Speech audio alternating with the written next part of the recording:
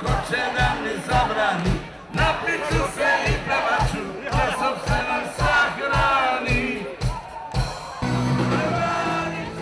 Carstvo piva i muzike zapravo je sinonim za najposjećeniju manifestaciju na našim prostorima, odnosno Beer Fest. Specijalni gost praznika posvećenog pivopijama i ove godine bio je Bora Đorđević, frontman grupe Riblja Čorba. Više hiljada posjetilaca iz Bijeljine i okolnih opština svih generacija, među kojima je bilo najviše mladih koji nisu bili ni rođeni kada su nastali neki od najvećih hitova ovog benda, horski su pratili Boru tokom koncerta. Tu priliku smo iskoristili kako bi porazgovarali sa Borom, te nam je prenio jedno od svojih ranijih iskustava stečenih u Bijeljini. Htio sam da kažem da uvek rado dolazim u Bijeljinu i, imam je u najlepšim uspomenama. Sećam se dobro kad pređemo onaj most a, preko Save i piše dobrodošli u Sao Semberiju i Majevicu. I sad u sred rata dolazimo da sviramo kada niko nije, nije smeo da dođe u Bijeljinu da svira ovde u Domu kulture, to je gore napred. Odsviramo jedan jako lep koncert, dočeka nas Lala Četnik i njegova ekipa. I sad prelazimo ulicu samo da, da večeramo, jel?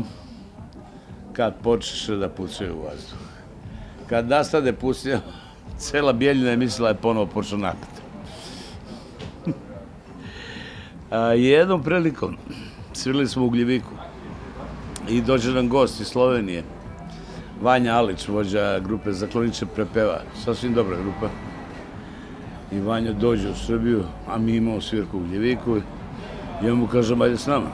Kaže, pa kako ću, nemam vizu. Slovenac, pedantan. Pa, kući ćemo na dobroveče. Pa kako na dobroveče? Dođemo mi na granicu, ja kažem dobroveče. Ljudi kažu, kako si, Boro? I tako lepo prođemo granicu koja nije ni postojala tada. I dođemo kod Lale Četnika u lokal.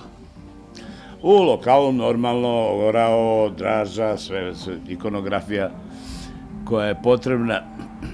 I ja upoznajem Lalu i Vanju i kažem, ovo je moj prijatelj iz Slovenije, Vanja. On kaže, hvala ti, brate, otkad nisam klao Slovence. Ovo se nesrećnik usere od straha.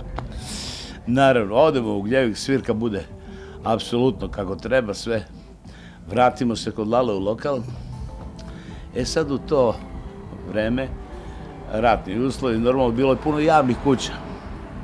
Cela Bijeljina je imala bar jedno, tri, četiri javne kuće.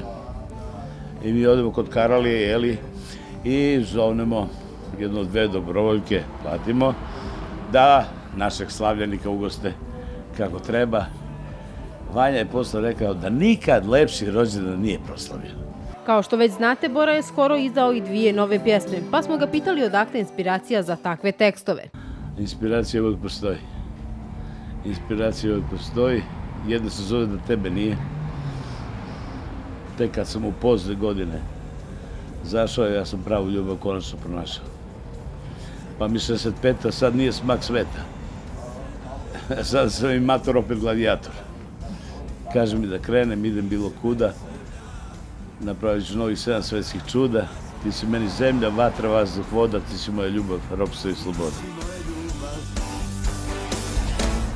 Ropstvo i sloboda Kada kažete ljubav, na što prvo pomislite? Ne može. Pohvalno. Evo je tu je. Ona je tu sa nama. Sada mi posebno izgledate kao srećan čovjek, ali zanima me čega ste ostali željni u životu, a čega ste možda imali i previše? Uh, svega se imao previše, preterivo se.